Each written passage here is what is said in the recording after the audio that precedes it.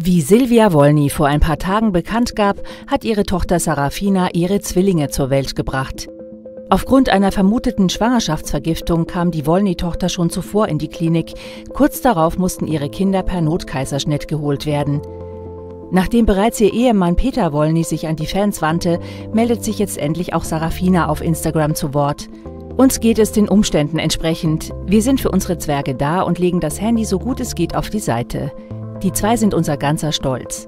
Wir werden uns in den nächsten Tagen in Ruhe bei euch melden und euch alles erzählen. Wir müssen die letzten Tage erstmal verarbeiten und sind für unsere Zwerge da. Die zwei brauchen uns, führt sie fort.